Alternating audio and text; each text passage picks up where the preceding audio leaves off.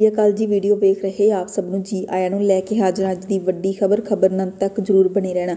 ਜਿਨ੍ਹਾਂ ਵੀਰਾਂ ਭੈਣਾਂ ਨੇ ਚੈਨਲ ਨੂੰ ਸਬਸਕ੍ਰਾਈਬ ਨਹੀਂ ਕੀਤਾ, ਉਹ ਸਬਸਕ੍ਰਾਈਬ ਕਰ ਲੈਣ ਅਤੇ ਵੀਡੀਓ ਨੂੰ ਲਾਈਕ ਅਤੇ ਸ਼ੇਅਰ ਜਰੂਰ ਕਰਦੇ ਸ਼ੁਰੂਆਤ ਕਰਦੇ ਹਾਂ ਅੱਜ ਦੀ ਵੱਡੀ ਖਬਰ।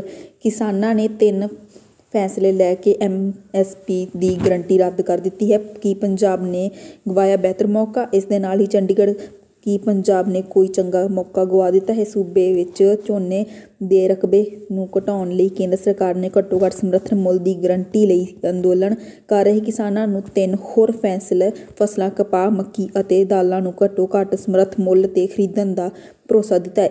ਇਹ ਅਗਲੇ 5 ਸਾਲ ਤੱਕ ਰਹੇਗਾ। ਇਸ ਦੇ ਨਾਲ ਕੇਂਦਰ ਸਰਕਾਰ ਇਹਨਾਂ ਤਿੰਨ ਫਸਲਾਂ ਦੀ ਖਰੀਦ ਘਾਟਕ ਕਾਰਪੋਰੇਸ਼ਨ ਆਫ ਇੰਡੀਆ ਦੇ ਰਹੀ ਹੈ। ਇਸ ਦੇ ਨਾਲ ਉਹਨਾਂ ਨੇ ਸਰਕਾਰ ਨੇ ਤਰਜੀਹ ਰੱਖੀ ਹੈ ਕਿ ਇਸ ਪ੍ਰਸਤਾਵ ਨੂੰ ਅੰਦੋਲਨ ਭਾਰੀ ਕਿਸਾਨ ਯੂਨੀਅਨ ਸਿੱਧੂਪੁਰ ਅਤੇ ਕਿਸਾਨ ਮਜ਼ਦੂਰ ਸੰਘਰਸ਼ ਕਮੇਟੀ ਦੇ ਰੱਦ ਕਰ ਦਿੱਤਾ ਹੈ। ਉਹਨਾਂ ਨੇ ਕਿਹਾ ਕਿ ਕਿਸਾਨਾਂ ਨੂੰ ਮੰਗ ਦੇ ਫਾਰਮੂਲੇ ਤੇ ਸਾਰੀਆਂ ਤੇ ਫਸਲਾਂ ਤੇ ਘੱਟੋ ਘੱਟ ਸਮਰਥਨ ਮੁੱਲ ਦੀ ਕਾਨੂੰਨੀ ਗਰੰਟੀ ਦਿੱਤੀ ਜਾਵੇਗੀ।